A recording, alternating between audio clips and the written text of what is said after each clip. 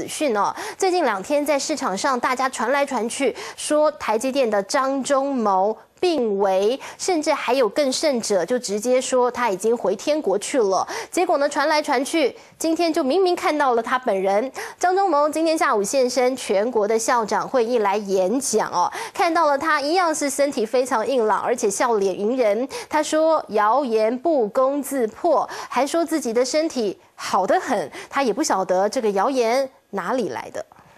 一踏进台南昆山科大，台积电董事长张忠谋就被追问健康问题，因为前一天晚间市场竟传出他身体为恙的消息，他主动澄清，强调谣言止于智者。昨昨天我们已经否认了，对对对，呃嗯嗯，那今那那请你帮帮忙，今今今今今天你再把我的健康情形这个呃在这个登个大照片啦，是吧？我们都是很健康，我在笑啦，是。事实上，张忠谋病危消息才传出，台积电第一时间就否认。但上午台积电股价还是跌了三块。不过张忠谋一派轻松的说，今天股价确实不好，但真的有关系吗？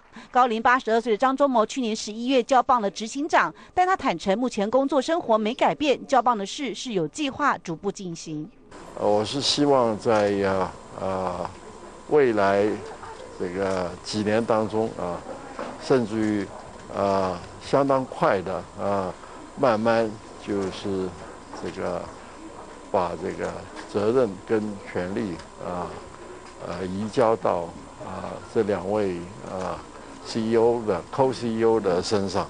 张忠谋下午以人才培育为题目，在全国校长会议上进行演讲，现场一位难求。下周台积电召开法说会，他说届时他和两位执行长都会出席。三立新闻李世宏台南报道。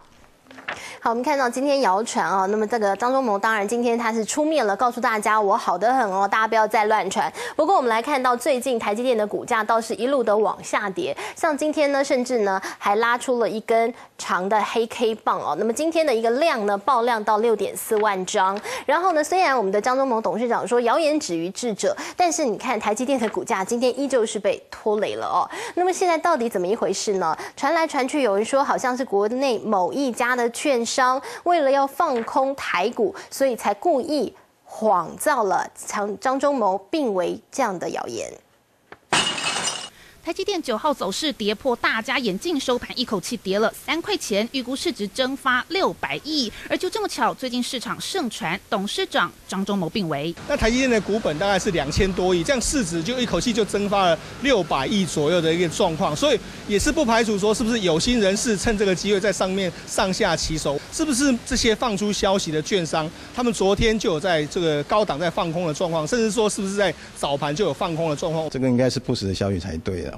那券商之间的一些消息的转换，可能经有很多手的多人的转换仓造成的误误导。分析师怀疑有券商灌压指数不是没道理，因为外资期货空单九号增加四千八百多口，累计为平仓空单逼近一万两千口。外资一月份来多转空，不排除有券商散布张忠谋病危消息放空台股。九号台积电走软，使得台股最后收黑下跌四十一点，中场指数收在八千五百一十四点，力守八千。五百点关卡，成交量扩增到一千三百四十四亿元，创下十七个月新高。台股连两天交易量突破千亿。不过在操作上，因为指数涨多来到八千五百点以上的话，那么卖压是难免的。那么在选股的策略上，我们今天看到盘面上一些一些比较没有基本面的股票，仍然有出现比较大幅的上涨。不过哈，已经看到有一些啊这个涨不上去的这个现象。分析师表示，台股成交量逐渐放大，市场留言会开始变多，投资人千万不要跟随消息面起舞，小心以基本面和业绩作为选股条件，才能在震荡幅度变大的大盘赚到年底红包财。